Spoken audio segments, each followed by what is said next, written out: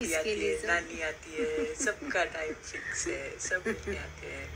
Mummy का तो घर धोबी घाट बना हुआ है।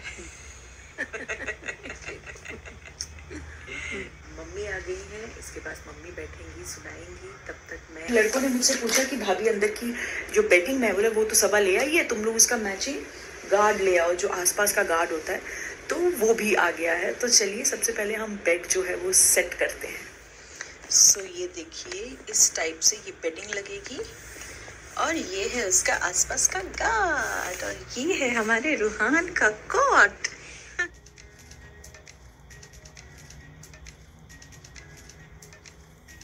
करेक्ट टाइम पे जो है रिहान आ गया है।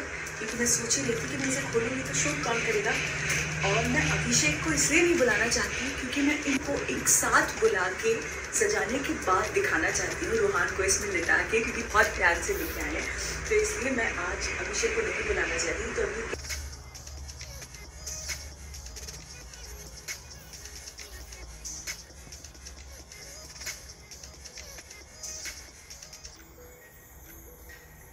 तो तीन सेटिंग्स होती है। अभी हमने सबसे टॉप मोस्ट लेवल पे लगाया ऑब्वियसली सोहान बहुत छोटा है और वो तो इसमें मतलब रात में तो नहीं सोएगा, दिन में अगर कुछ काम वाम कर रहे हो तो देखिए लिटाना है पेट बनाना है तो लिटाना है तो हमने उसे लिटा दिया है।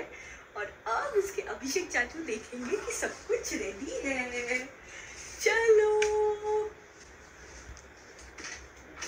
आइए हाँ? अब भी जागा। देखो, उसका पूरा बेड सेट हो गया। हाँ। आप जिम नहीं जा रहे? दीपिका ने किया बेबी रोहान का बेड सेट बेबी रोहान का बेड सेट करते हुए दीपिका बहुत ज़्यादा खुश नज़र आ रहे थे। और आपको कैसा लगा बेबी रोहान का बेड तो कमेंट्स में लाजमी बताएगा अब आपसे ज़्यादा चाहते हैं वीडियो पसंद आए लाइक चैनल को सब्सक्राइब करना मत भूलेगा मिलते हैं एक नई वीडियो के साथ। दुआ में याद रखिएगा, अपना बहुत ज़्यादा ख्याल रखिएगा।